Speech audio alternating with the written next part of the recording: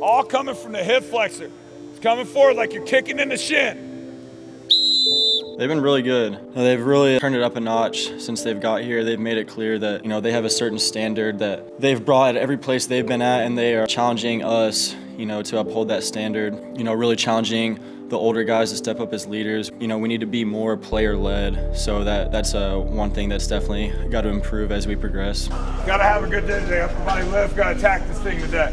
So when we go over there, there's going to be three lines. Three. Uh, he's awesome. He's a, he's a really good coach. He's a really good um, teacher and instructor, uh, which which is what you need. Um, there's a lot of technical things that go into the weight room. Him and Coach uh, Ray, they're extremely intelligent. Uh, they know how to get after it.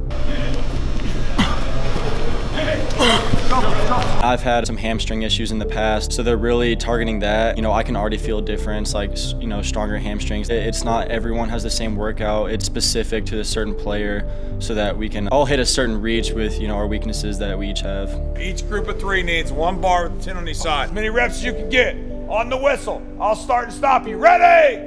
You know, that's definitely a point of emphasis going into this off season is just finishing every drill. If that's touching the line or that's getting one more rep on bench press, whatever it is, it's just, you know, learn how to finish games, learn how to finish workouts, all that. You know, a lot of progress has been made from week one to week three. You know, you already see a, a big difference. And so every day, pretty much everything we do, we have a, a finishing workout that kind of closes things up. And, you know, just, just trying to push through that and, and being able to excel um, when things aren't easy, when you're tired, and uh, you know, you've been through a, a, long workout already, but being able to finish. Yeah, and that's I think that's what we need to do in the in the regular season. I think that's the whole meaning of the word, or the the purpose of the word is to finish um, when things are tough. So.